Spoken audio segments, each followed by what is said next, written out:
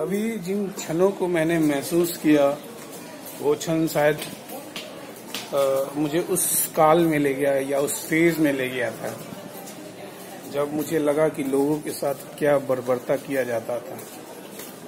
हमारे देश में, हमारे देश के लोगों के साथ, जिन्हें अंडमान पोर्ट ब्लेयर लेके आया जाता था, और यहाँ उनको सजा दी जाती थी। तरह तरह की सजाएँ, फांसी, कोड़े मारना तरह तरह की। लोग बड़े अच्छे से आज आज जो हमारे मूल देश में चल रही है कि वो उससे गाली दे रहा है, ये उससे गाली दे रहा है।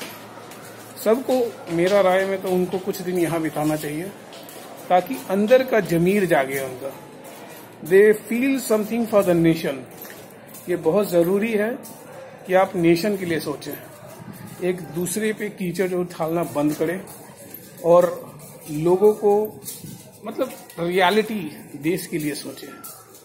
हम क्या कर रहे हैं? किस लिए कर रहे हैं? यहाँ के लोगों का शहादत को बेकार ना करें। अच्छी जगह है। वेरी वेरी गुड प्लेस अभी साउंड एंड म्यूज़िक मुझे देखना बाकी है। आई डोंट नो अभी जब मुझे इतना फील हो रहा है that time what I feel but it's really वैसा है कि शायद जैसे लगा कि मैं उस पार्ट में जी रहा हूँ। I'm not in 2018. I'm feeling that I am living in that stage.